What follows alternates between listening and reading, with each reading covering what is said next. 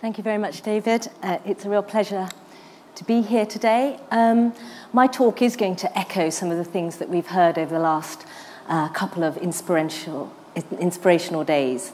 The power of new technology, the potential of big data, asking what does it all mean. But I'm going to talk about those questions in relation to cancer. So everybody in this room will have been touched by cancer, a relative, a friend. One in three of us will develop cancer. Every year, 13 million new diagnoses of cancer occur worldwide. And cancer has no respect for age or gender, for nationality or ethnicity, for wealth or for class. Cancer is indiscriminate and it is universal.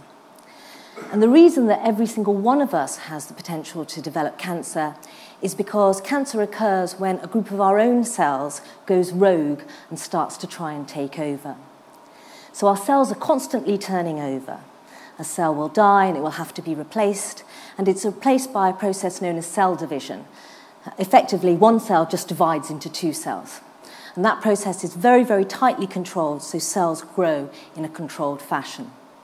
So, what happens with, um, in the normal situation is one cell will divide into another cell, and that's very, very well controlled.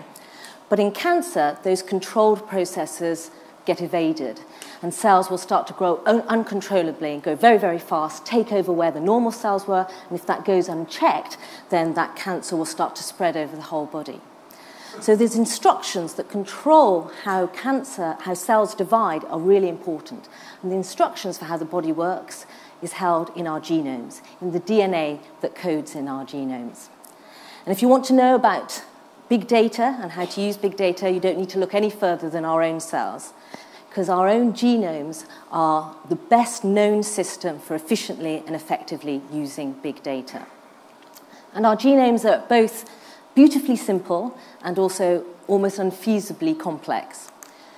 So they are simple because the DNA is made up of a very simple code of just four building blocks denoted by the letters A, C, T, and G. But it's complex partly just because of the sheer size of the genome. So if we were to watch this slide go through the whole genome, we would have to sit here for 10 years because there's 3 billion letters of code. I probably could go on that longer, long about the wonders of DNA, but fortunately for you, I only have 15 minutes. But uh, what we're trying to do when we're trying to find out what's caused cancer is to look to see if there are errors in that code, what we call mutations. And those can be very simple. It might just be that two letters, A and C, have been deleted from the code, and that's enough to set that cell um, in the cycle towards be becoming a cancer cell. So we've known for a long time, nearly 50 years, that the genome is important to cancer.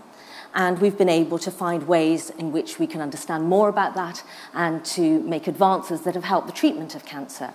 But we've been hampered by the tools, the technological tools we have to actually read the code. So until very recently, we had to read that code one letter at a time, and that was very slow. But over the last few years, there's been a revolution in how we can read the DNA sequence. Now you can fragment the genome into millions of fragments and read all those millions all at once. So things that used to take us years before, we can now do in hours. And this hasn't been a, a, a, sort of gradual iterative change. This has been a sort of wipe the slate clean, all bets are off, anything is possible kind of change. And what it's done is it's sort of moved us from, if you think about an experiment being like a journey from A to B, before we were sort of hobbling along in sticks, we were reasonably happy, we didn't know any better, and we were making some progress. But suddenly we can think about sort of flying through experiments by rockets. So the potential of what we're able to do has vastly changed. So there are many ways in which this genome information is going to be helpful for all sorts of branches of science and medicine. For cancer, I'll just tell you a couple of the ways. So this is what a prostate cancer looks like down a microscope. And diagnosis of cancer, the foundation of that has been looking down the microscope for decades, and it remains how we define and diagnose cancer. But now with genome sequencing, what we can do is look to see what the genome of those cancers are. And that's what the genome of a prostate cancer would look like. And what that's showing us in much more exquisite detail is all of those different types of mutations that have led to that cancer occurring.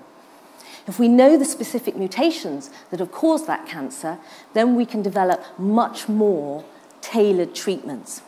So most chemotherapy drugs work by targeting dividing cells. Because the cancer cells are dividing much faster and much greater than the normal cells, they get killed preferentially. But normal cells are dividing, so they do also get targeted. And that's why so many chemotherapy drugs have so many substantial side effects.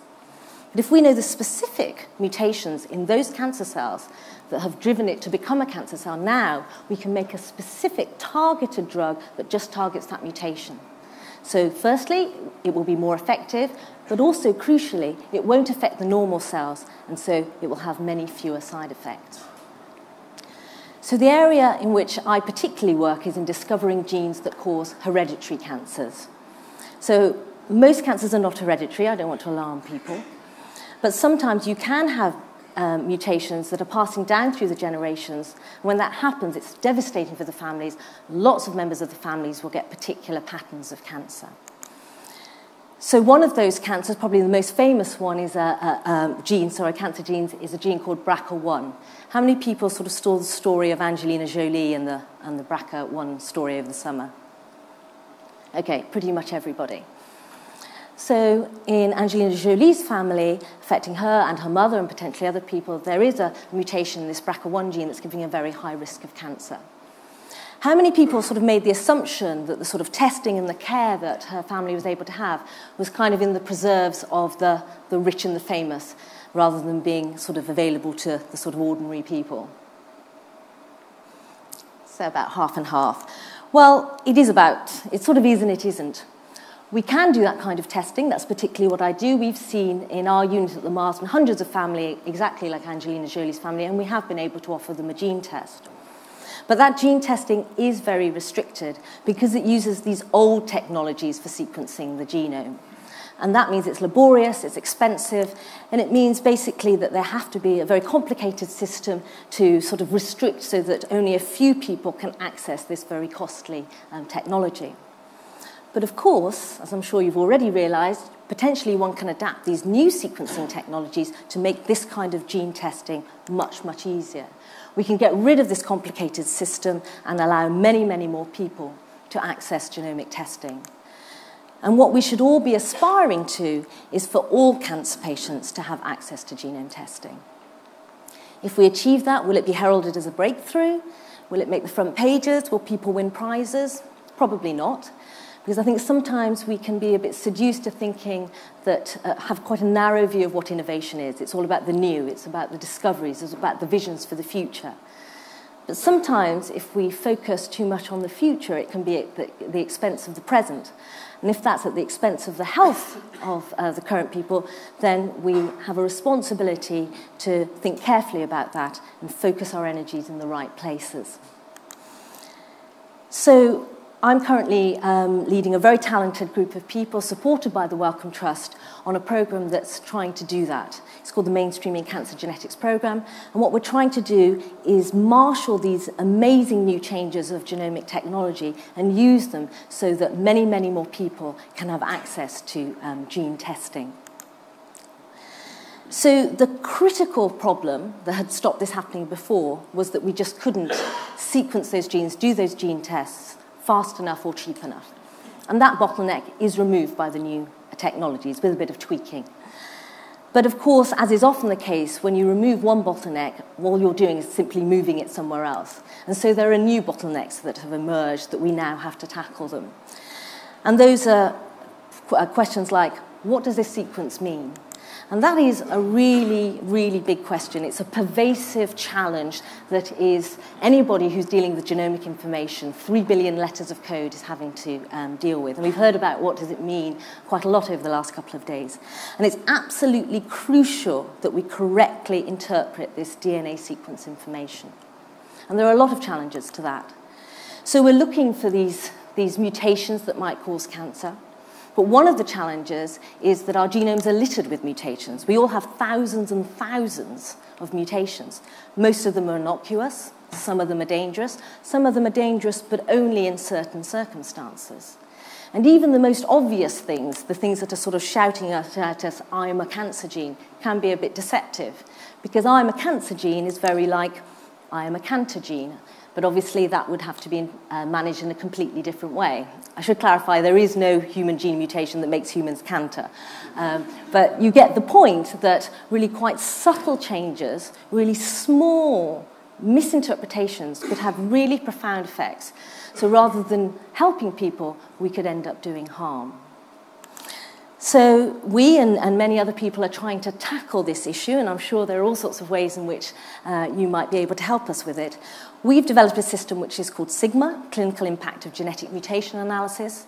And essentially what CIGMA is, is, is simply a framework. It's a framework through which we can integrate and bring together all of the different types of information, all of the different expertise that we need in order to make the right um, decision and know what the correct clinical impact is. It's a developing system. Uh, I think it might end up being my life's work. Um, but, and it is an area where big data is going to be a big help.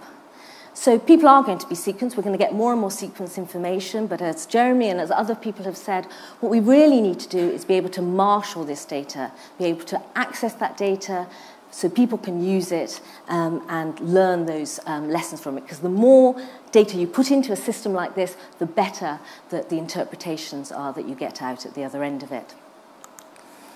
The other major, major challenge that we have is we need to remodel our health services so that instead of only dealing with a few hundred tests in a very specialized way, we need to have a way in which we can routinely um, use these genomic tests and this information. And that has a number of different types of challenges. Some of them are really quite prosaic, um, sort of logistical. Health services are not famous for being sort of nimble and uh, flexible. But actually, probably the biggest challenge here is a behavioral challenge because intrinsically, uh, people are a little bit suspicious and not very keen to change. So, education is an absolute key to this. We have to have both the doctors, the clinicians, and the patients and the public feeling confident, feeling confident that the changes that we want to have input are going to help, but also to feel confident that the old systems, the robustness and the care of the old systems are also in place. So we have developed such a system, which I hope works in terms of making genetic testing seamless, more flexible, faster, but also still having the support of making sure that people are making informed decisions. And we've been piloting that system in the Marsden over the, over the summer, and about uh, 100 patients have gone through that. And uh, in fact, so far, it's been a resounding success. It's gone better than I ever could have hoped for it. The patients like it, the doctors like it, it works. So what we're trying to do now is think of uh, trying to make a sort of toolkit of that process so that it can be rolled out um, across the um, NHS to help uh, many, many more um, patients. So I'm going to uh, sort of wrap up there. I hope that in this short time I've been able to make you all genome evangelists. Um, there certainly is the potential for the genome to have really tremendous impact. I've just talked about cancer, but you could make the same story for diabetes, cardiovascular disease, for all sorts of other scientific things.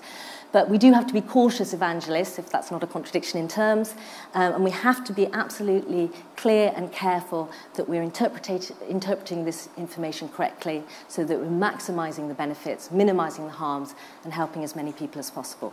Thank you very much.